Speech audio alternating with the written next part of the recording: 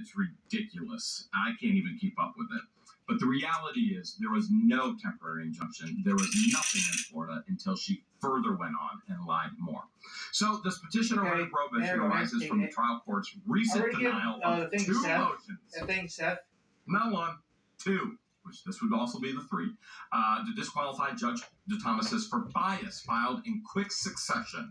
On February 11, 2024, Hale served his second motion to disqualify based on the events of the got me a hearing of. January 23rd, 2024. And on February 14th, the judge denied the motion in a five In page, single spaced order Yep. which included the following language. And I'm sure, but at this point in time, if you've been following this story, the judge cannot defend his decision to not remove himself. He just has to say no. He says yes or he says no. It's that easy. Belly, belly, or belly. all right. So this is what he says. This is just a portion. And he goes way out of his legal bounds in saying this.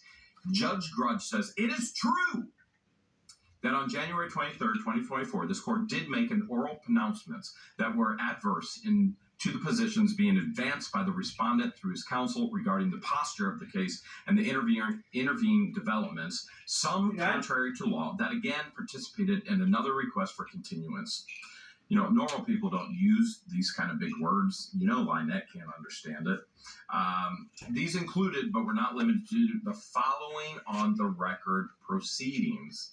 Again, he's already already gone way past his authority in what he can say. A, on 11 29 23, in response to the court inquiring whether he, the respondent, meaning Jeremy Hales, would be available to reconvene the following date at 9 a.m. to complete the hearing, co counsel for the respondent, Mark Feather, represented the court the following No, Your Honor, Mr. Hales is having to address matters in Ohio court related to this situation.